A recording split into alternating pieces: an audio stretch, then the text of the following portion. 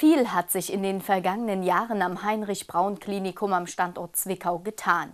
Heute wurde ein Objekt seiner Bestimmung übergeben, welches den Verantwortlichen schon lange am Herzen lag. Nach vier Jahren Bauzeit wurde das historische Bettenhaus als neues Kinderzentrum seiner Bestimmung übergeben. Hell, freundlich, modern und funktional. All das sieht der Betrachter beim ersten Hinsehen. Stolz und zugleich glücklich war man heute seitens derjenigen, die zukünftig hier Kinder und Jugendliche medizinisch versorgen werden. So ist es, genau. Endlich alle beteiligten Abteilungen aus dem Kinderzentrum unter einem Dach. Haben wir schon lange drauf gewartet und freuen uns sehr. Die Kinderpsychiatrie, die bisher in einem schönen Gelände im Wald gelegen hat, aber einfach einen langen Weg, zehn Minuten Fußweg zu den anderen Abteilungen der Kinderklinik hatte, zieht mit hier in die neuen Räume ein. Das Gebäude war auch schon recht alt und das ist wirklich ein sehr großer Gewinn für die schönen Räume und aber einfach auch für die Nähe miteinander. Ne, unsere Zusammenarbeit ist sehr eng, Kinderärzte, Kinderpsychiater und das macht es uns natürlich im Alltag viel leichter leichter, endlich unter einem Dach zu sein. Das war natürlich sicher ein großer Kostenfaktor. Unbedingt. Da sind wir auch sehr dankbar. Einerseits dem Freistaat Sachsen. Wir haben für den kinderpsychiatrischen Bereich eine Höhe von 6 Millionen Euro an Fördermitteln zur Verfügung gestellt bekommen. Und das Haus hat Eigenmittel in Höhe von etwa 15 Millionen Euro noch zur Verfügung gestellt. Und sind wir natürlich sehr dankbar, dass wir so ein schönes, großes Haus dafür gestalten durften. Wir reden hier über drei Etagen, die das insgesamt umfasst, dass es unsere Zuschauer verstehen. Was ist die Philosophie dahinter, hier alles so kompakt über drei Etagen konzipiert zu haben. Genau, wir haben die stationäre Kinderpsychiatrie hier im Erdgeschossbereich, die stationäre Pädiatrie, zwei Etagen darüber zweit, im zweiten Geschoss und dazwischen befindet sich im ersten Geschoss ein Teil der Tagesklinik der Kinderpsychiatrie. Nicht alle Kinder müssen über lange Zeit stationär bleiben. Andererseits gestaltet sich die Behandlung oft über monatelange Behandlungszeiträume und da ist so eine tagesklinische Anbindung dann ein, ein Weg, den wir häufig gehen. Andererseits ist in der ersten Etage auch die Funktionsabteilung für die Kinderklinik angesiedelt.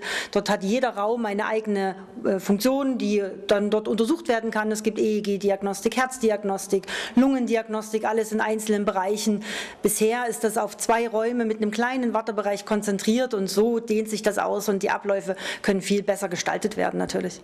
Wie ist das mit dem Personal? Sie haben das bestehende Personal mitgenommen. Haben Sie auch Neueinstellungen vollzogen? Neueinstellungen sind im Laufe der Zeit einfach ständig nötig. Das hat gar nichts mehr mit dem Umzug zu tun, aber da sind wir natürlich die ganze Zeit dran. Wir haben da auch große Unterstützung, weil gerade auch im kinderpsychiatrischen Bereich der Bedarf stets steigend ist in letzter Zeit. Dann wünschen wir Ihnen alles Gute, viel Kraft und gutes Gelingen. Vielen, vielen Dank. Emotional war dann die Segnung der neuen Einrichtung. So segne und behüte alle, die hier aus- und eingehen. Der barmherzige Gott, der Vater, der Sohn und der Heilige Geist. Gott, schaue freundlich auf uns und sei uns nahe. Gott sei gnädig und schenke uns seinen Frieden. Amen. Mit dem Durchschnitt eines Bandes wurde die neue Einrichtung offiziell ihrer Bestimmung übergeben. Beim dann folgenden gemeinsamen Rundgang konnten sich die Anwesenden ein Bild vom neuen Kinderzentrum machen. Auch für Zwickaus Oberbürgermeisterin war das heute ein Termin, den sie gerne wahrgenommen hat.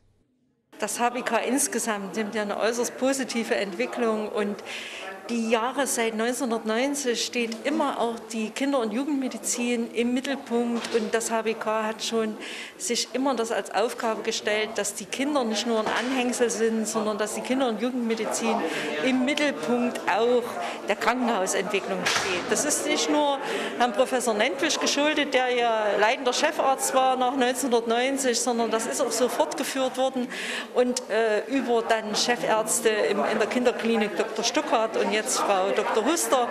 Äh, auch die Krankenhausleitung hat sich damit immer identifiziert, obwohl, das muss man sagen, leider was die Finanzierung des Krankenhauswesens betrifft, gerade die, die Kinder- und Jugendmedizin äh, dort nicht so gut bedacht ist. Und äh, das ist ja auch so, dass wir da froh sind, dass das Krankenhaus sich dieser Aufgabe stellt, auch in der öffentlichen Versorgung, denn im privaten Bereich steht das nicht so im Mittelpunkt. Und deshalb sind die öffentlichen Häuser hier gefordert und unser Heinrich-Braun-Klinik Klinikum macht das eigentlich mit Bravour über die letzten 30 Jahre. Und heute mit der Einweihung des neuen Kinderzentrums hier mit Kinder- und Jugendpsychiatrie und Kinder- und Jugendklinik und Verbindung auch zum Operationszentrum sind wieder neue hervorragende Bedingungen entstanden, sodass niemand Angst haben muss, wenn sein Kind mal ins Krankenhaus muss, dass das eine schlimme Erfahrung wird. Ich denke, auch die Mitarbeiter sind immer dabei, den Kindern das so schön wie möglich zu gestalten im Sprechen der Situation.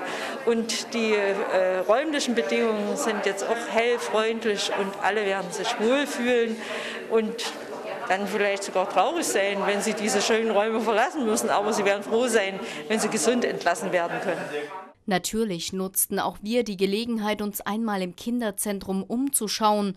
Mit viel Liebe zum Detail wurden hier verschiedenste Bereiche eingerichtet. In einem Raum haben wir Ergotherapeutin Christine Thalwitzer getroffen, die sich schon mal ihre neue Wirkungsstätte angeschaut hat uns interessierte, was zukünftig ihr Tätigkeitsfeld sein wird.